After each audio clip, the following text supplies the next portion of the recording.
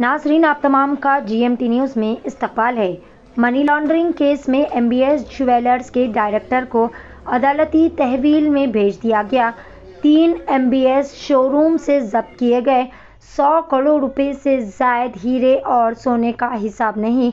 शहर की एक अदालत ने एमबीएस ज्वेलर्स के डायरेक्टर सुकेश गुप्ता को मनी लॉन्ड्रिंग केस में 5 नवंबर तक अदालती तहवील में भेज दिया। इन्फोर्समेंट डायरेक्टरेट ईडी ने रात देर गए मुसद्दीलाल और एमबीएस ज्वेलर्स की तलाशी के बाद गुप्ता की गिरफ्तारी अमल में लाई।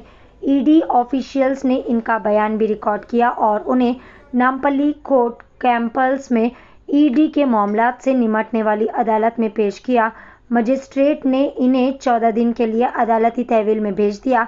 बाद अजा इन्हें चंचलगुड़ा सेंट्रल जेल भी मुंतकिल कर दिया गया।